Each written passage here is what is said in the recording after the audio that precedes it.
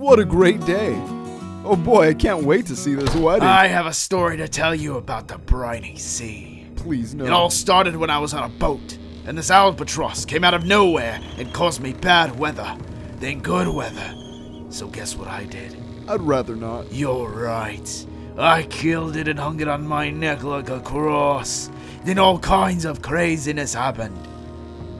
My entire crew died, and I was stranded out at sea without any water to drink, and everything became slimy. Wait, what? Then I saw beautiful sea snakes, and the albatross fell off my neck into the ocean.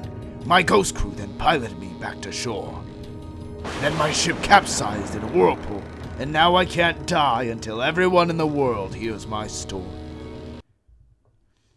Is that all? Yep. Cool. I'm gonna go to the wedding. Or not.